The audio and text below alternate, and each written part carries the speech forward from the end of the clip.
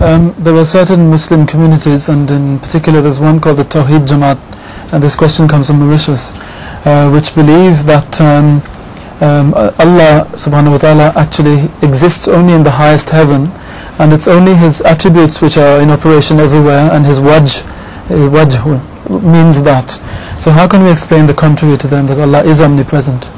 It's true. All you see in the world is manifestation of Allah's attributes. Why do you try to oppose them when they, they, what they are saying is correct? All the entire universe is the manifestation of Allah's attributes. That's all.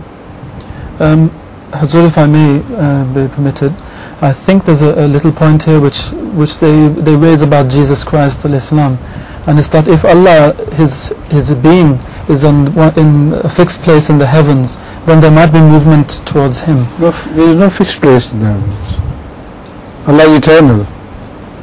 Eternal in space and eternal in time. You see, the Holy Quran has made it very clear that Allah is within, also within man. So in that sense, He is the Aqrab. Nothing can be closer to Him. Even He is closer to man's brain and its uh, communication with his entire body. He sits in between, that's to say, he detects everything. So there is nothing for, uh, no there is no need for any information to travel. It's there.